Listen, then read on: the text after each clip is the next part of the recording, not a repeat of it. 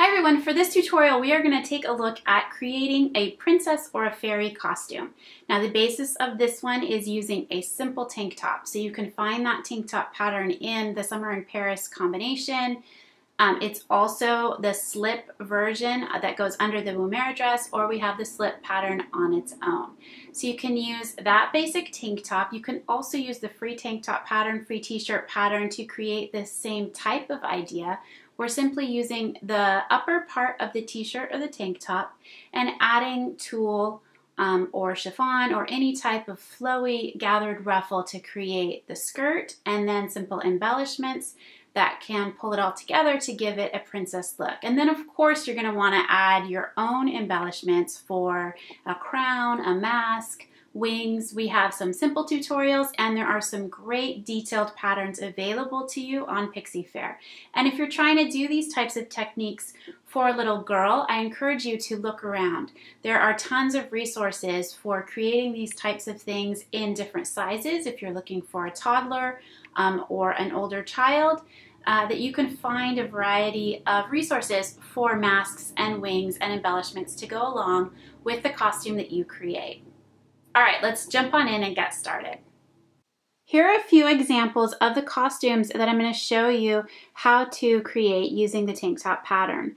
So you can see here we have several examples, a little bit of a different variation, but they've all created really cute little princess style costumes.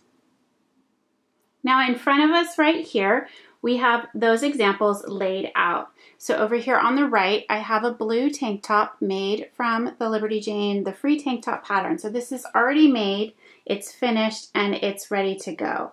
Then I have some strips of a lightweight mesh glittery fabric that are cut to create the skirt. Then in the middle right here, we have a tank top made from the tank top that is featured in either the Summer in Paris top or um, as the slip for the pattern that goes with the Woomera dress or the slip dress. So this is just the tank top portion.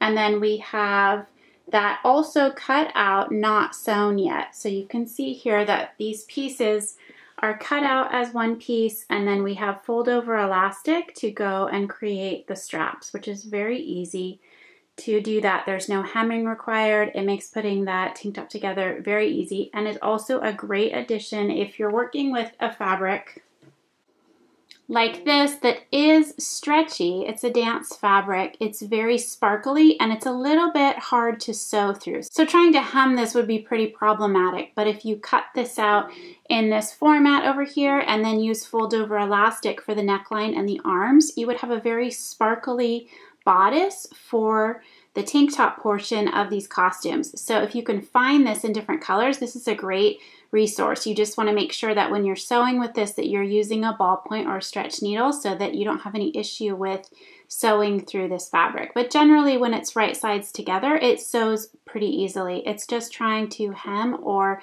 sew from the top side that it has a little bit of trouble with the needle going through the fabric. Now for the skirt portions, I have three different examples here. This first one is very simple. You can watch the tutorial how to make this type of tutu um, in a separate video. It is strips of tulle that are cut and then trimmed down so that they're all eight inches long by two inches wide and we have a bunch of them. I've just cut strips following that other tutorial. So I have pink and white and I'm going to alternate them on this ribbon to create a simple tutu skirt that we can just tie around the waist of one of these tank tops. So that right there would be the easiest version, the quickest, and then you can embellish and add fabric flowers or rows of beaded trim to the top of any tank top to really kind of add a little bit more sparkle to your princess design. Now these other skirts, the blue one and the pink ones, are cut five and a half inches in width. So I have a five and a half inch skirt length and then they are cut the width of the fabric. So most tulle or these kind of mesh dance fabrics come 56 inches wide. So I've just gone ahead and cut that the width of the fabric and I'm going to gather that to fit the waist of the tank top. So I have two layers I'm going to do on top of each other so that this is not see-through. I have a sparkly blue and I have this mesh blue. And then on the pink example, I have two versions of the skirt that we're gonna put together. We're gonna use the same t-shirt fabric as the underlayer, and then I have a very lightweight sparkly mesh, which drapes really softly. That will show one example just so that you can see the difference compared to this and using traditional tulle, which is much stiffer. And then either skirt version we will attach to this simple tank top bodice. And then we will finish them off with trim and even some added embellishment. So you can see here we have a bunch of different trims. I have lots of sparkly silvers, some sequined, some ruffled lace, some little flowers that I could cut off. I can also use tulle or mesh to create fabric flowers and apply those to these um, shirts as well to just finish off the look. And I thought I would just show you here sort of an inspiration look. This is a child's costume book. Um, easy kids costumes. It has lots of ideas. The basic Halloween costume pattern that we have with the ladybug and the pumpkin um, was inspired by what we saw in this book. So there's a lot in here. If you're looking for a children's costume book, this is a great resource. It has a lot of cute costumes in it. And this princess one is very simple. It's a very simple idea. She has a basic tank top on and then you create the mesh or tulle skirt and then you just add the embellishments that you create um, beyond that wings, hair clips, crown, wand, ballet shoes, anything like that, that really just finishes off your princess look. And one quick thing I wanted to mention about the tank tops or the t-shirt, they are all designed to have a three and a half inch finished side seam. So from the underarm to the hem, it's three and a half inches. Now the waist of the doll hits a little bit higher. So for this example, when we cut out the new version of this tank top, you can see that we've cut this a little bit shorter. So if you look at the difference here, it's about an inch up from the finished hemline, which would be an inch and a half off the pattern itself. The pattern has a double turned quarter inch hem included in it. So when you cut out your tank top, whether it's the strappy version or the standard regular tank top or t-shirt, just keep that in mind. Trim off an inch and a half from the length so that you have a finished um, bodice area that comes down just to the waistline and that's where we'll attach the tulle or the mesh ruffles. For the blue skirt we have two pieces cut the exact same length and width so they're both five and a half inches in length and they're 56 inches wide. I've gone ahead and sewn a basting stitch through both of them together. So I have a pretty long piece right here and I'm doing this flat because it's easier to do than to do this in the round, especially for such a small waistline on the doll. It's 11 inches. So we have 11 inches that we are working to go around this tank top idea. So I'm going to just gather this down and I've gone ahead and I've marked uh, with tape on my board right here 11 inches so that makes it very easy for me to work my way and start gathering my whole skirt until it fits in between these two marked lines. And I've started my gathering about a half inch in from the edge right here so that I can come in after I've done all the gathering and actually just sew up this center back seam so that it does have a clean finish on the back. But I find that it's easier to measure and even attach to the top um, as it's flat. If you haven't sewn your tank top yet and you haven't sewn your center back seam, then you could simply sew that in with the skirt all at one time and sew straight up the back, but leaving the top open to add the hook and loop tape. But for this example, it's already sewn, so I'm simply going to continue to gather this so that it fits the top that I have. And now we're getting close to the measurement, so I'm just going to come in and pull those. I'll pin my ends and then I'll just work to really make sure that I have flat, even gathering all along this waistline edge. Now I've taken the tank top and I've put it on the doll and marked with this design tape exactly where I want to attach this skirt so that it hits more at her waistline. So I'm just using this as a guide right now. I will go in and I can trim this off and allowing for my seam allowance to just connect this to this, but at least I know where it is I want to attach this. I'm also just going to double check that my skirt is gathered the right amount. So if I was to put this here and fold these over and I could bring them at center back. I could still overlap and connect that and be able to spread out my gathers to fit around the edge of this bodice. So I'm just going to go ahead and trim this off just below this taped line. And then you're just gonna wanna be really careful at this point that you either go back in and reinforce your side seam right at the base so that it doesn't pull apart and the center back seam. You just come in and sew a quick little back stitch just to secure that on both sides. Now I'm going to remove the tape and then I'm just going to set my bodice down and I'm going to pin this with right sides together all the way around. So I'll start to fit this on and checking that my gathers are even. I'm going to pin this all the way around. And then as I start to get close to center back, I'm just gonna leave it for the moment until I come around the other side and then I'll fit these two together exactly how I want them. Now here we are at center back. I have a little bit of extra, so this 56 inches is a little bit wide depending on just how much fabric you have and how stiff it is or how soft it is. Um, just getting it to lay flat would be the most important part. So if you have extra, it's fine to just pull those gathers apart a little bit and then you can work to um, just trim that off. But we've gone ahead and we're pinning this here and then this right here is going to be my center back. So I'll have this side come in.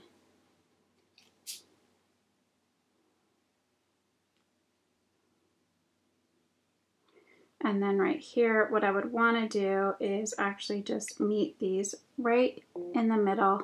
And I'm going to pin them together right here.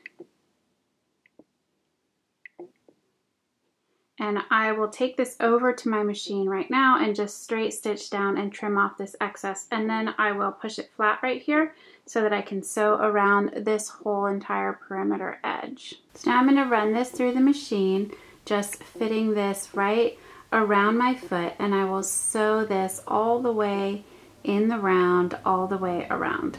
And here I am at the machine. I've actually gone ahead and turned this on the opposite side so that I could sew with the gathers up so that I can be sure that I have them evenly spaced and I don't have any areas like this where the ruffles themselves will fold down along that top cut edge. So as I'm sewing, I'm making sure that it's nice and tight. I'm sewing just past the 3 8 inch seam allowance. So as I sew, I'm trying to hold all of those gathers nice and tight and straight. But I'm also being careful not to stretch out that t-shirt itself because you want to have that retain its shape.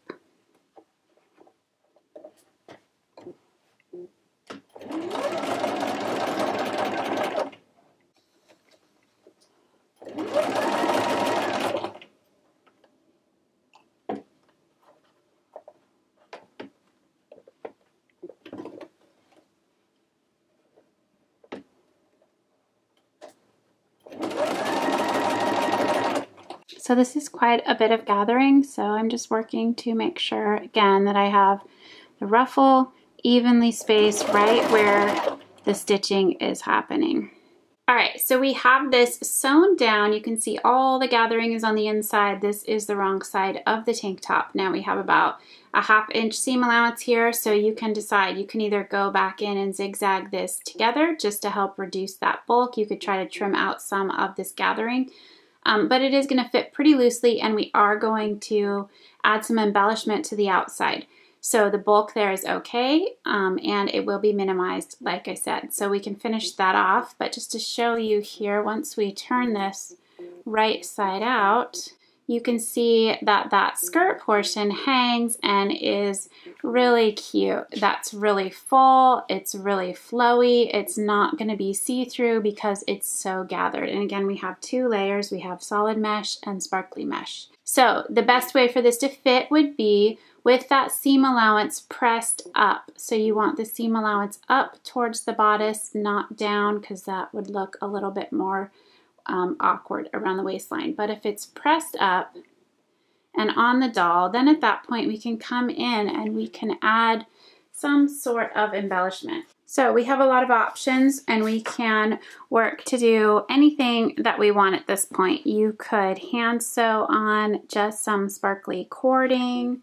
You could look for some ribbon that is um, has like a satin finish inside. It looks more a little bit more embroidered or crocheted. You could also find some flower trims and apply those right along that seam as well uh, with hand stitching or you could probably even glue that down if you did it carefully. But hand stitching is probably the easiest and then you can work to embellish other areas as well. You can add anything to the neckline. Little fabric flowers would be cute. And then she has a little bit of sparkle and then we come back in and you can add a mask or wings, tights, ballet shoes, sparkly flats, anything that you want to really set this off as a full princess look. To make the basic tank top, I'm just going to show you quickly how we do this with the fold over elastic. This is very similar to the free swimsuit pattern and like I said it's in some of the other pattern instructions. So we're just going to take a front and a back. There is no back seam because this is stretchy and the elastic is stretchy. So the fold over elastic dimensions are in the pattern. You're going to take the fold over elastic which folds in the middle. I'm going to place this over this edge of the fabric and then along that fold line it folds and sandwiches that fabric inside the elastic. So then you'll just go over and sew this with a zigzag stitch to cover the edges of the front and the back. Then I'm going to simply take the strap pieces and attach them to the front and the back. So I lay that fold over elastic flat. I'm lining up the underarm. I'm stretching it slightly as I fit it to the underarm. There'll be a gap between which goes over the shoulder and then the remainder goes down the back to the underarms. So there you can see that strap is sewn, it's not folded over yet. So I have the raw edge down and I've just zigzagged it. The span across the top is the same on both of the shoulders. So I have it attached to the front and the back and then I'm just going to fold this over starting at the end and then run that through the machine with a zigzag the same as it is on this neckline and then do that right here over the shoulder. So just continue sewing all the way over and then back down the other side just to keep this closed and folded as it goes over the shoulder. And try not to pull this too much while you're stitching it, just so that it has a nice tight fit around her shoulder. And there's a close-up look of those shoulder straps sewn. Now we're just going to simply flip this right sides together and sew the side seams and then we'll continue with the skirt portion of this style princess costume. Now for the pink option, I'm going to show you two different types of skirts. So for this one, because this layer is so sheer, whether you're using mesh or if you decide to use tulle, which is even more sheer, you're gonna wanna have another piece of fabric underneath that is not see-through. So for this one, we've gone ahead and cut a piece of the knit, which is very lightweight, the same color as the bodice. So because this is going to be a lot thicker, we have not cut it 56 inches wide. We have the sheer and the tulle both 56 inches wide. They're both five and a half inches in length. But for the knit ruffle, we've gone ahead and just cut this two times the width of the waist. So this is cut at 24 inches if we're working with an 11 or 12 inch waist. So we have this one cut a little bit smaller just to have a little bit less bulk but we have two options again for the top layer. So one will be this really flowy chiffon, which will look very similar to the blue version that we've already done. And then the other version is this more crisp tulle. So I'll go ahead and gather those and we can look at how they compare. So here we have at the top the knit layer, which is gathered from 24 inches down to this 11 inch span.